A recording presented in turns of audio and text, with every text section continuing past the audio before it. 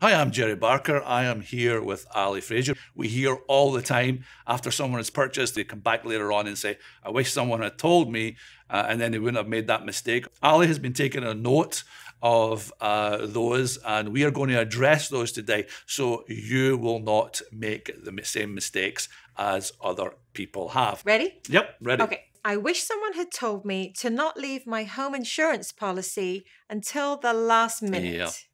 Yeah, so home insurance, you're going to have to have insurance for your property. You're going to have to have that insurance bonded. That means you call up an insurance agent and you get the whole process started and you get that going so that when you close, your property is already insured.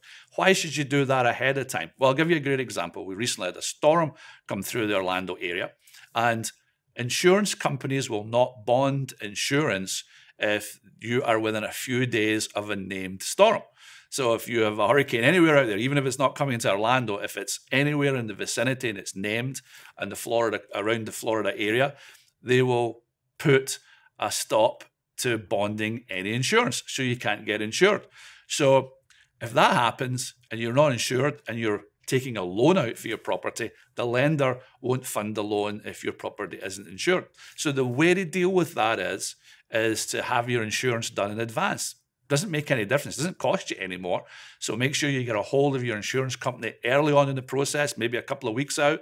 Make sure you get that bonded, get that all underway, so that when it comes to closing, no matter what's happening anywhere else, that your delay doesn't happen because of insurance. Because sim the simple fact is, is that times and dates matter in contracts, and you don't want to breach a contract because you didn't have your insurance in place.